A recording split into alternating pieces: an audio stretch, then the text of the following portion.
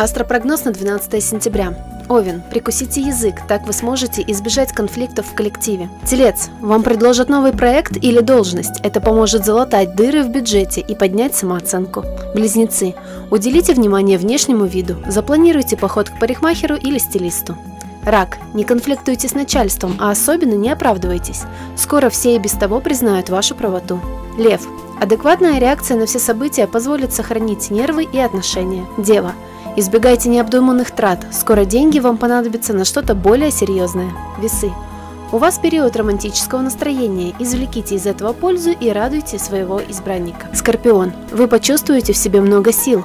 Горы, стоящие на вашем пути, не будут преградой. Стрелец. Интриги и сплетни со стороны других людей о вашей личной жизни не должны повлиять на отношения в семье. Оградите себя и избранника от них. Козерог.